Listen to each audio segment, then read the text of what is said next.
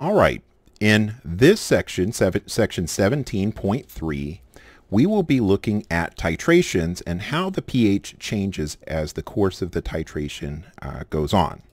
So let's start with looking at this particular titration. Over here on the right, we've got uh, hydrochloric acid, which is a strong acid, and it is being titrated with sodium hydroxide.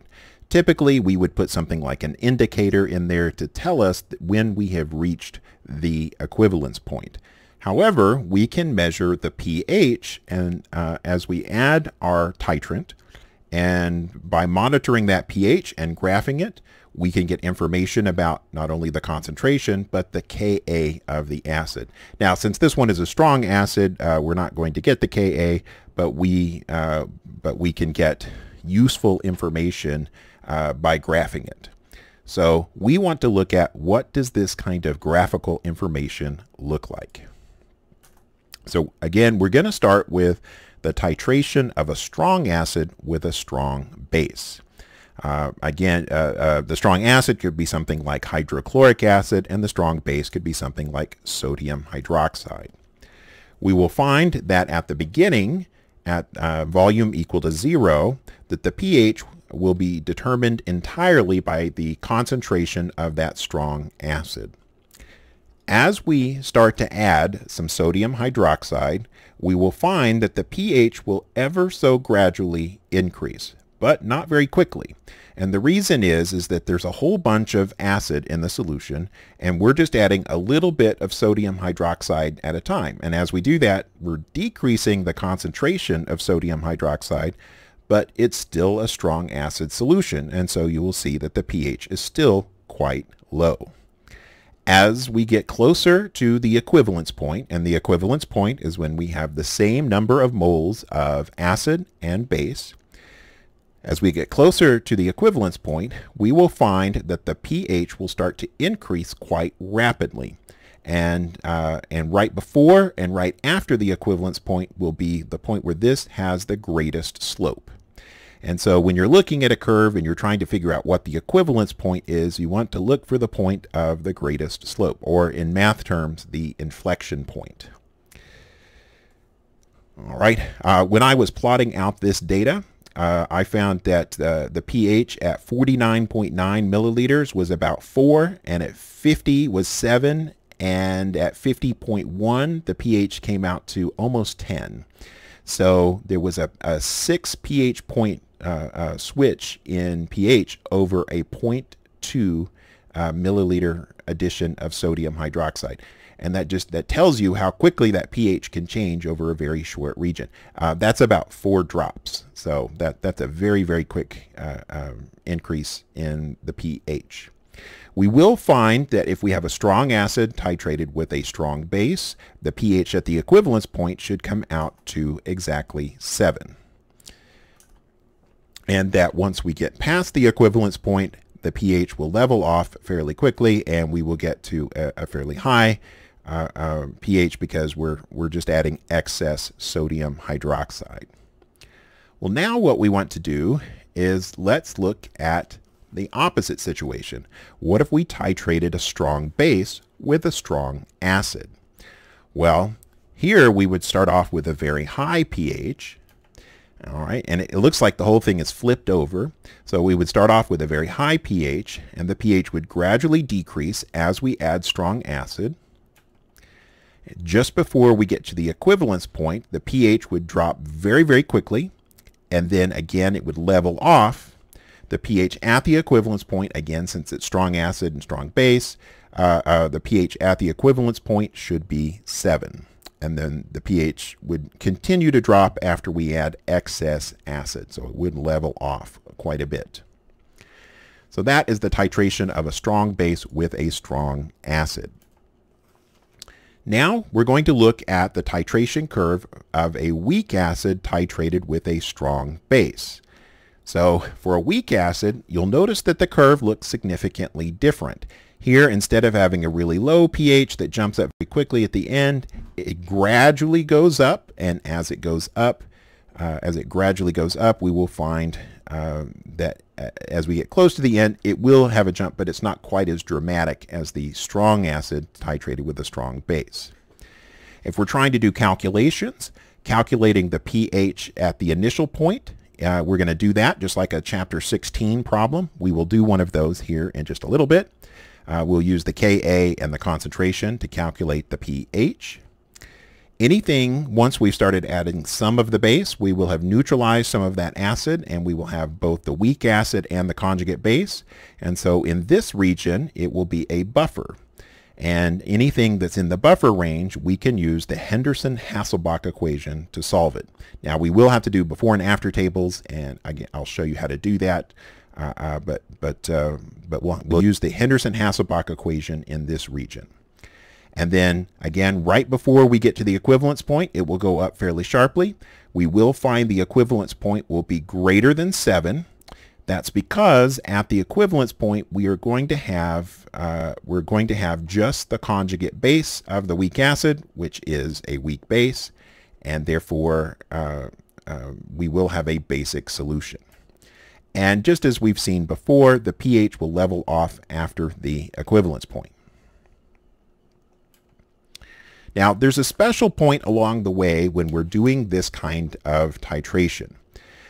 The equivalence point, in this case, the equivalence point is 50 milliliters, but the equivalence point, uh, um, halfway to the equivalence point, we will have neutralized half of the weak acid and converted it into the conjugate base. That means that at that point, we will have the same amount of weak acid and conjugate base. So the concentrations of those two things will be equal to each other.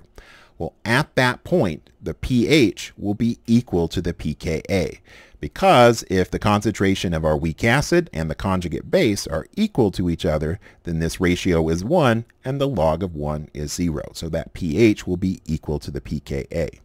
So how high this curve is tells you how strong the acid is. The stronger the acid, the further down this curve will be. The weaker the acid, the further up it will be. And in fact, here is a graph of, uh, of several different titration curves for different strength acids. Um, so here we've got a strong acid. Here is a um, here is a uh, a weak acid, still pretty strong, but it's a weak acid. Here's a weaker one, even weaker, even weaker. We will find there's some key differences between strong acids and weak acids.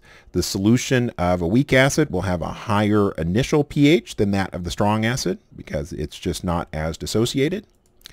We'll find that the pH at the equivalence point, the change in the pH is not going to be as big. And in fact, if you get one like this, where the, the Ka is 10 to the negative 8, you're not going to have a very steep increase in pH at all. It's harder to observe those equivalence points. And then uh, the pH at the equivalence point is going to be greater than 7. And the the weaker the acid is, the stronger the conjugate base, meaning the, the more basic it will be at the equivalence point. All right, I've got one more that I want to look at uh, uh, before we do our problems, and that is the titration of a weak base with a strong acid. When we titrate a weak base with a strong acid, we start off here at a very high pH.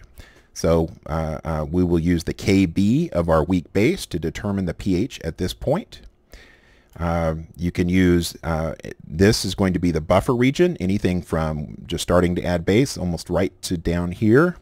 Uh, that's all going to be in the buffer region and uh, you'll be able to use the Henderson-Hasselbalch equation here. And we'll find that the pH at the equivalence point is going to be less than 7. And as usual, we'll find that the pH levels off once we get past the equivalence point and we've added excess acid. So now we want to look at uh, number 33. And just as a reminder, strong acid, strong base, the pH at the equivalence point should be 7. Strong base, strong acid, also 7. Weak acid with a strong base, the pH at the equivalence point should be above 7. And for a weak base, which is this one, weak base titrated with a strong acid, pH at the equivalence point should be less than 7. So let's look at number 33 and then number 41. So here is number 33 on the in-class assignment.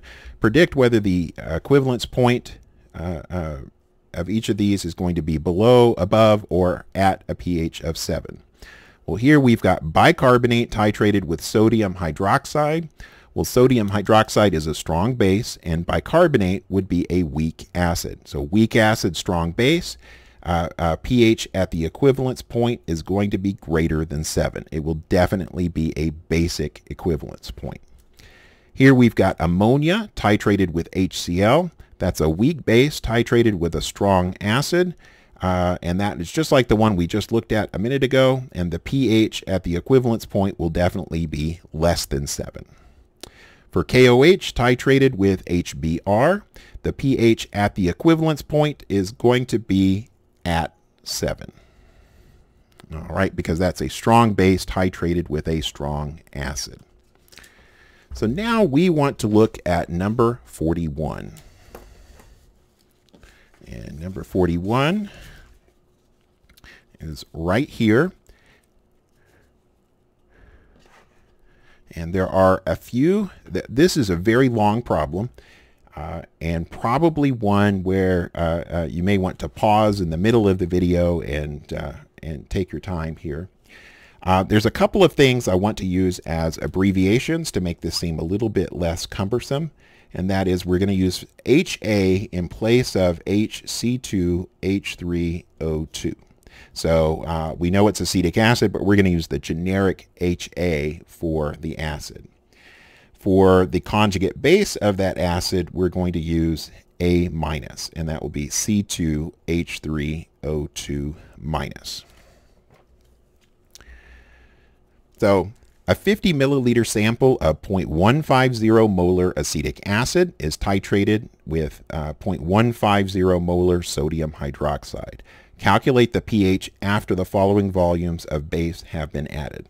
Well, when none of the base has been added, this is just the 0.15 molar, 150 molar acetic acid, and we can write this out as a regular ice table. So it'll look like this. So HA plus H2O will give us hydronium and hydroxide. Initial change equilibrium. All right, our initial concentration is 0.150. Water we can ignore, 0, 0. This is just like a chapter 16 problem. Minus x, so 0.150 minus x, and then plus x and plus x. All right, our Ka is the concentration of hydronium times the concentration of, oh, I wrote the wrong thing down here. This should be A minus, not hydroxide. This is not water. That should be A minus. So concentration of our conjugate base divided by the concentration of HA. Um, the, the the value, the Ka value is 1.8 times 10 to the negative 5. So we have our values in terms of x. So we're going to put 1.8 times 10 to the negative 5. That is equal to x squared over 0.150 minus x.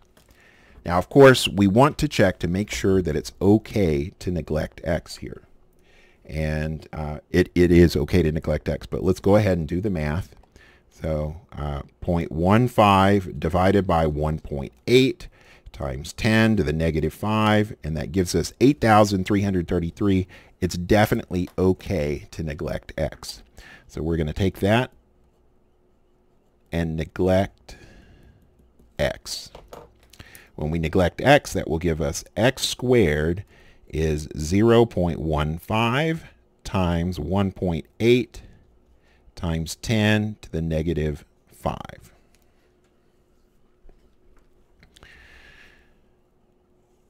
All right, so x is going to be the square root of that value. So let's go ahead and punch that into our calculator. So 0.15 times 1.8 times 10 to the negative 5, and that gives us 2.7, and we will take the square root of that number, and that will give us uh, 1.64 times 10 to the negative 3. That is the hydronium ion concentration. And so our pH is going just to be the negative log of that number. So I'm going to do negative log of our answer. And that gives us 2.78. So our pH at the initial point is 2.78. Now I'm going to show you where this is on the graph uh, because I want you to be able to kind of keep up with what's going on here. So here, here is our graph. All right, here is our graph of a, of a weak acid titrated with a strong base, and we just calculated this very first point. Now, when I prepared this, I, uh, I did a big spreadsheet, and I, I did like, I don't a lot of points. Not quite 100 points, but I did a whole bunch of points and did all the calculations there. Uh, but we're just going to do several of the key points as we go along. So now we want to look at what happens at or what happens as we're adding uh, base. So the first thing that we want to do is we want to get the amounts of our weak acid and our strong base.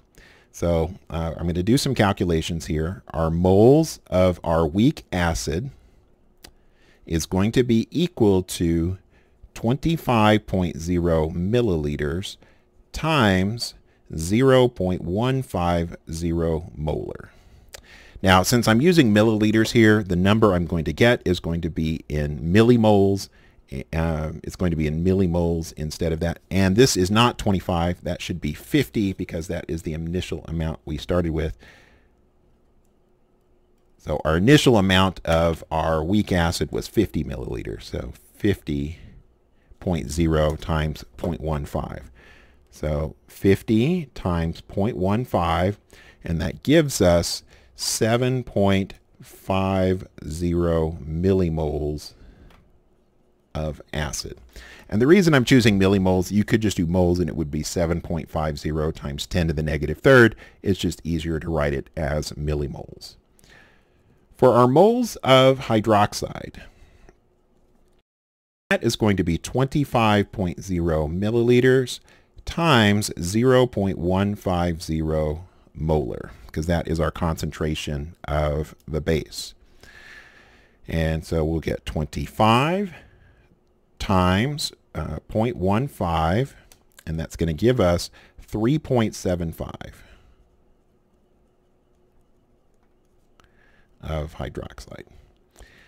So now we're going to do a before and after table where we've got our weak acid plus hydroxide and that that gives us our conjugate base plus water. And like I said, this will be a before and after table. And we're going to put moles in here. So this will be 7.50 and then the moles of base would be 3.75 and then the moles of the conjugate base that we started with before the titration began was zero and water we can ignore.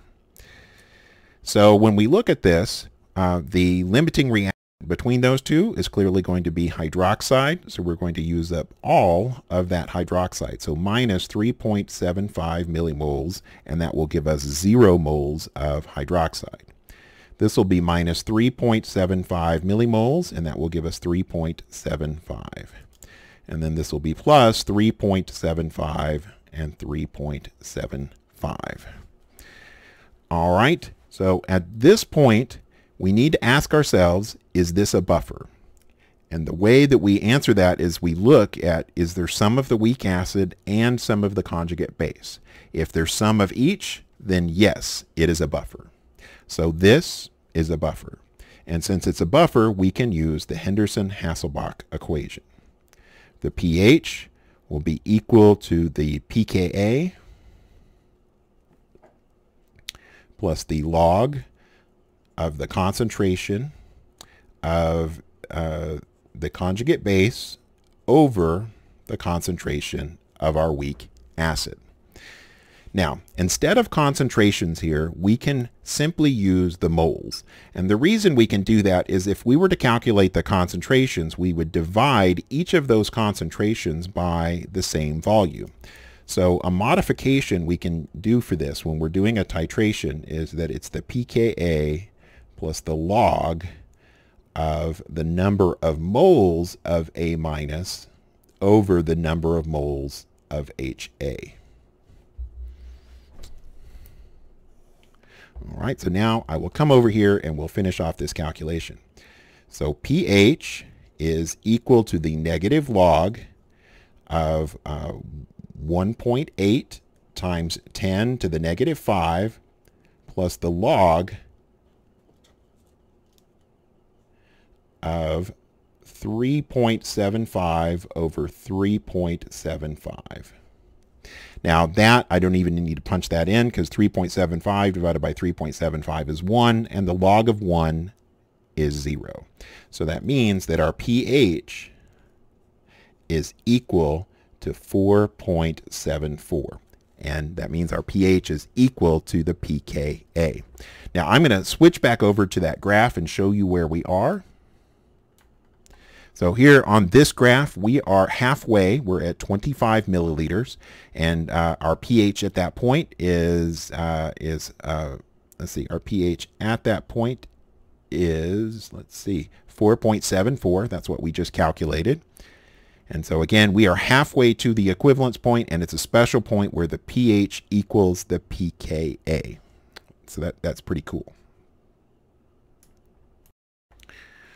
All right. Well, now that we've done that, let's look at what happens at this point, 49.5 milliliters. So 49.5 milliliters. Well, we'll start with our moles of HA is still, the amount that we started with is still uh, 7.50 millimoles. I have too many M's there. Let's get rid of one of those M's. All right, so 7.50 millimoles of HA. Our moles of hydroxide are going to be uh, 49.5 milliliters times 0.150 molar. And we'll punch that in and we'll get 49.5 times 0.15 and that gives us 7.425 millimoles of hydroxide. Well, just like before, we're going to do a before and after table. So HA plus hydroxide uh, gives us a minus plus H2O. Before, we had 7.50, 7.425, and 0. Water we can ignore. Uh, when we look at these, our limiting reactant here is still hydroxide, so we're going to do minus 7.425, and that will give us 0. This will be minus 7.425. So uh, 7.5 minus 7.425 gives us 0.075. And then here, this is going to be plus four, uh, 7 uh, uh, plus 7.425. Let me try that again there. So 7.425. So 7.425. Well, this technically is still a buffer. So uh, because it contains both the weak acid and its conjugate base, it is still a buffer. Our pH at this point is going to be uh, the pKa and our pKa uh, uh, up here, we determined our pKa was 4.74. And then our log of 7.425 divided by 0.075 Then we'll do uh, 4.74 plus the log of 7.425 divided by 0.075 and close parentheses and the number we get there is 6.74. All right, just to show you where we're at, I'm going to go back to that uh, graph and we are right before the equivalence point. We're half a milliliter before the equivalence point and, and almost up to a pH of 7, pH 6.74. So we're right there. All right, our next point is going to be right at the equivalence point. So let's do our next calculation, which as I mentioned is right at the equivalence point at 50 milliliters. So uh, we want to write down the number of moles and this one takes a lot of space so I'm going to go a little bit above here. I'm going to do our moles of HA which again is the same number of moles that we had previously. It's 7.50 millimoles of our weak acid. For our, uh, for our base at 50 milliliters, our moles of hydroxide is going to be equal to 50.0 milliliters times 0.150 molar, and that also comes out to 7.50 millimoles of hydroxide. Well, you can tell by looking at that that we're at the equivalence point. However, I'm going to uh, I'm going to write this down uh, write this down as a before and after table just to illustrate that we are at the equivalence point. So HA plus hydroxide gives us the conjugate base plus H2O. We will have a before and after table. For before, we had 7.50, 7.50, and 0. And you can tell we don't just have one limiting reactant because we have exactly the same amount. That means they're both limiting reactants. We are at the equivalence point. We're going to use up all of them. So 7.50 minus 7, uh, and this will be 0, minus 7.50, that will also be 0. And this will be plus 7.50, which is 7.50. So that is the number of millimoles of our conjugate base. This is not a buffer. And because it is not a buffer, that means that we need to determine what the concentration of that conjugate base is. So I'm going to come over here and write our conjugate base, and we want that 7.50 millimoles of A minus, and we want to divide that by the total volume of our solution. Well, we started off with 50 milliliters and we added 50 more milliliters. So we're going to have 50 milliliters plus 50 plus 50 milliliters.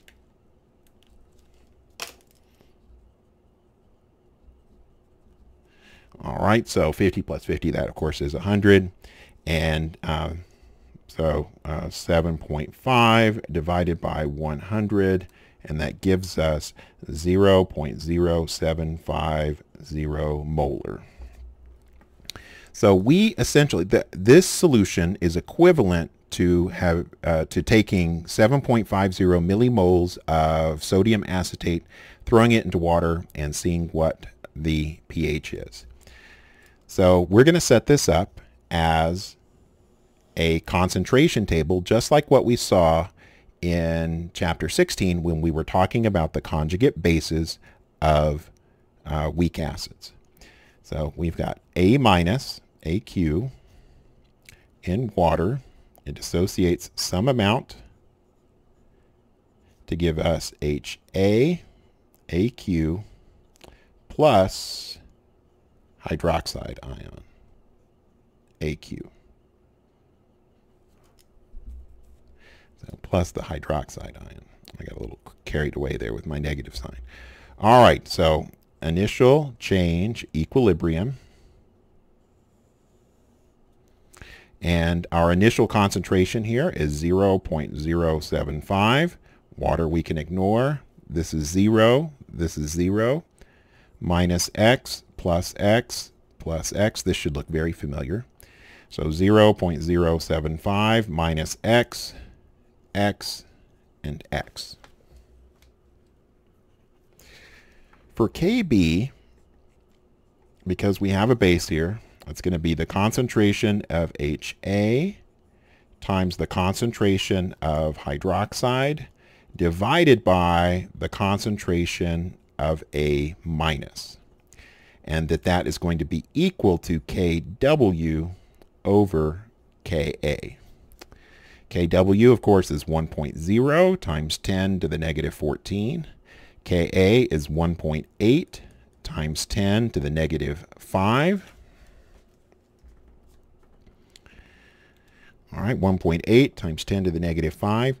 And uh, so we'll do uh, 1 times 10 to the negative 14. We will divide that by 1.8 times 10 to the negative 5.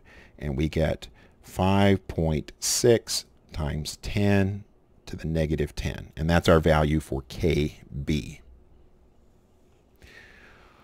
All right, so KB is equal to this expression. So we'll put 5.6 times 10 to the negative 10 is equal to x squared over 0.075 minus x.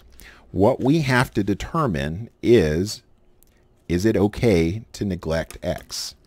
So we'll do the 0.075 divided by 5.6 times 10 to the negative 10, and we will definitely see it is okay to neglect x. Our value there for uh, that is definitely greater than 400 by a long shot.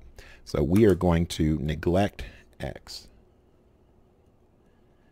Neglect x. All right.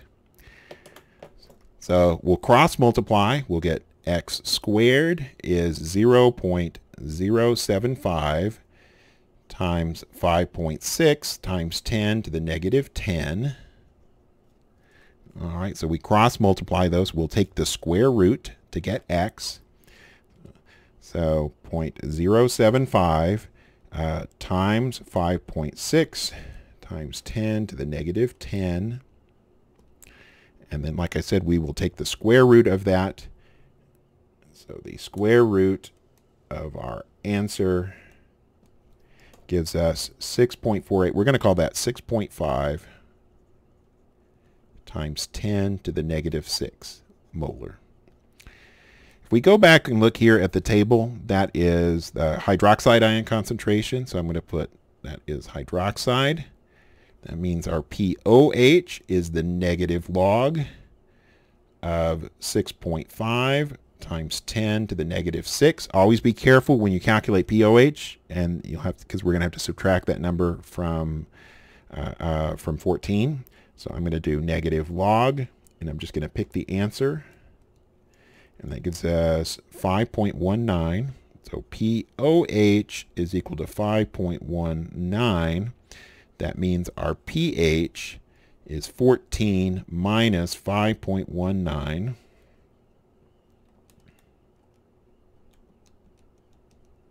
and that gives us 8.81. So our pH is equal to 8.81.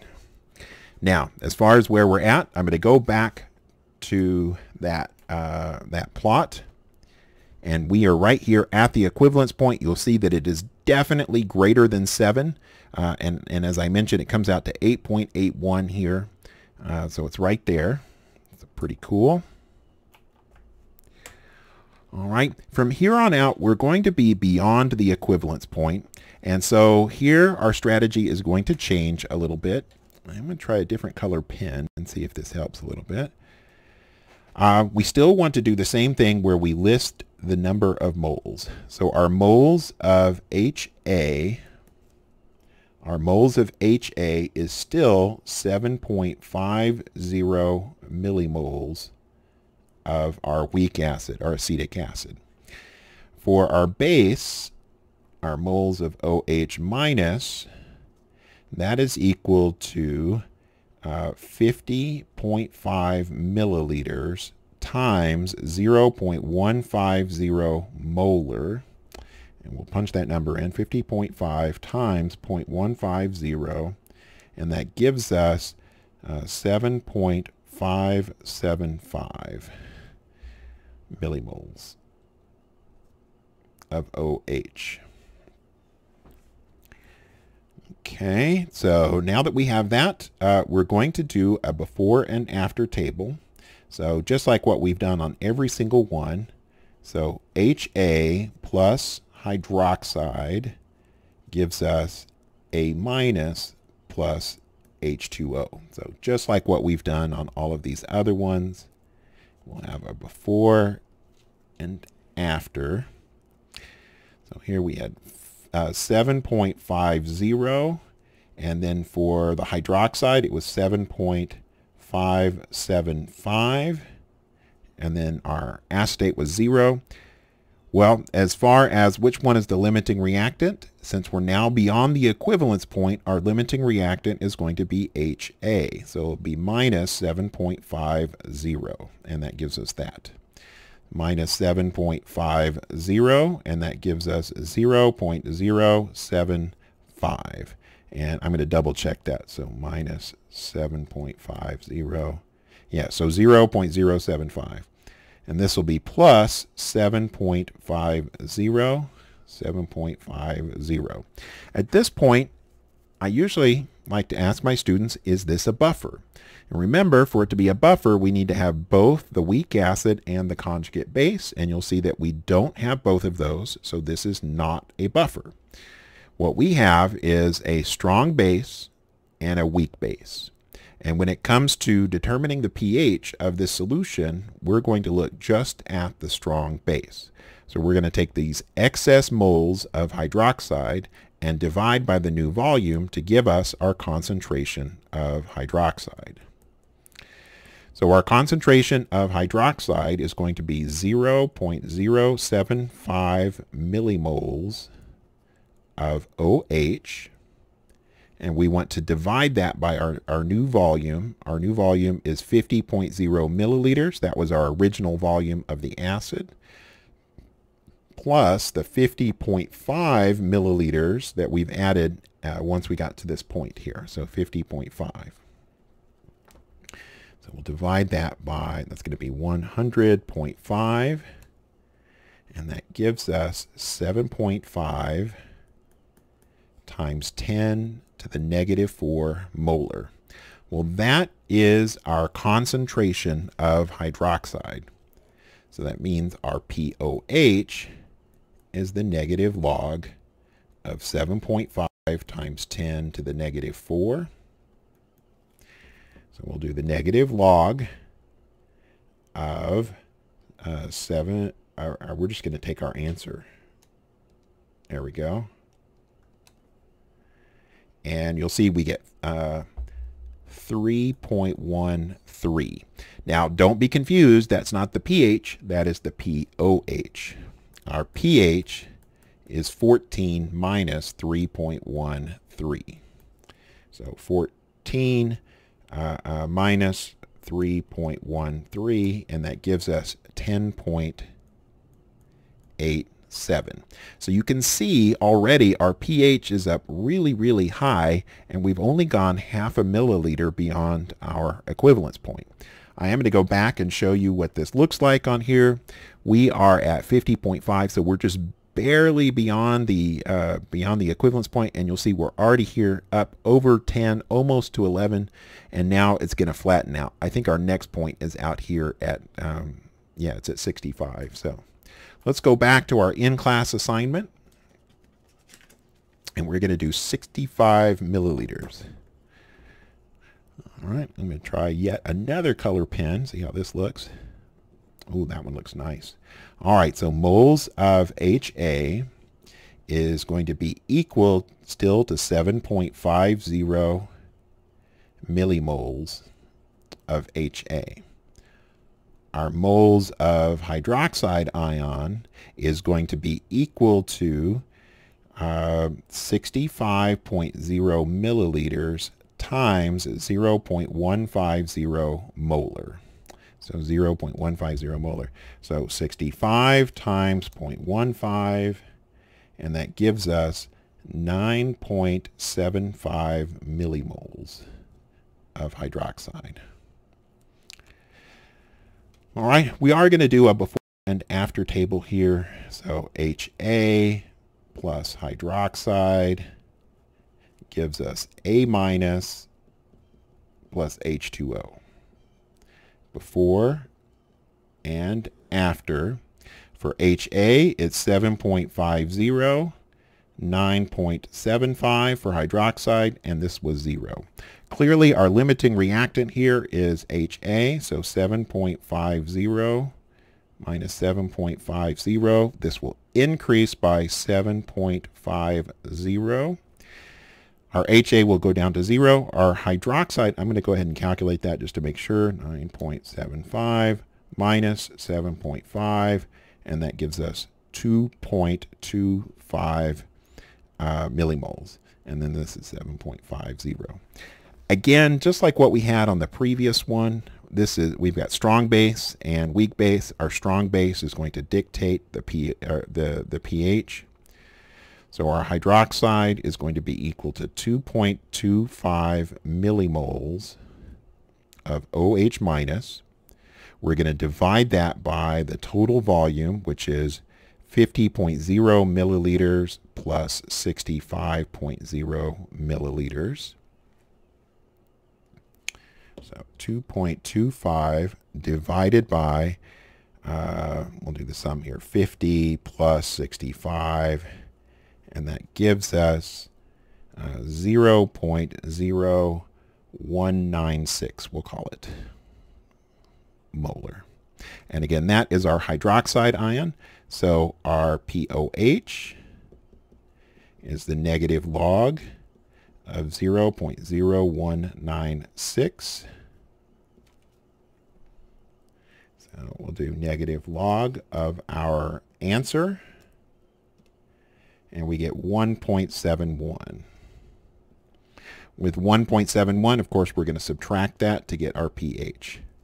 So our pH, I need to scoot that up a little bit. pH is 14.00 minus 1.71. So 14 minus 1.71, and that gives us 12.29. And just to show you where we're at on that, we're going to go back to our uh, uh, to our picture here, and we are at 65 milliliters, uh, and you'll see 12.29. Uh, we're well beyond the equivalence point. We're into that range where it has flattened out.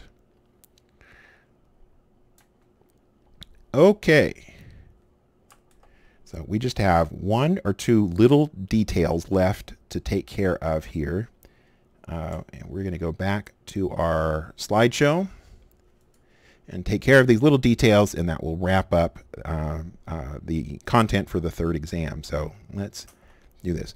We can use indicators and uh, so you probably have used phenolphthalein as an indicator before. And the way that indicators work is like for phenolphthalein, below about 8, it's completely colorless, and above uh, between 8 and 9, it's a very light pink, and 9 and above, it's more like a bright pink. So if you can get it into this range where it's a very light pink color, then that tells you that you are in that specific pH range. You want your equivalence point to fall in that range where it is changing. So um, uh, if we had a strong acid with a strong base, uh, uh, phenolphthalein probably wouldn't be the 100% best indicator, but it wouldn't be bad. It wouldn't be a bad indicator. And the reason I say that is that, uh, um, so it wouldn't be a bad indicator. And the reason I say that is that uh, um, it would be, it, there's such a dramatic change here, you should be able to, to work it with the strong acid, strong base. However, um, you could use probably something like bromothymol blue. uh, and it has a it has a color change right at 7. If you're if you're down here in this range, so uh, for example, if we were titrating a weak base with a strong acid, we might choose methyl red because it changes. It's yellow. Um, it's yellow above six, and it is uh, kind of red uh, down below six, and it, so it's going to be orange, or below four, it's going to be red, and around five, it's orange color.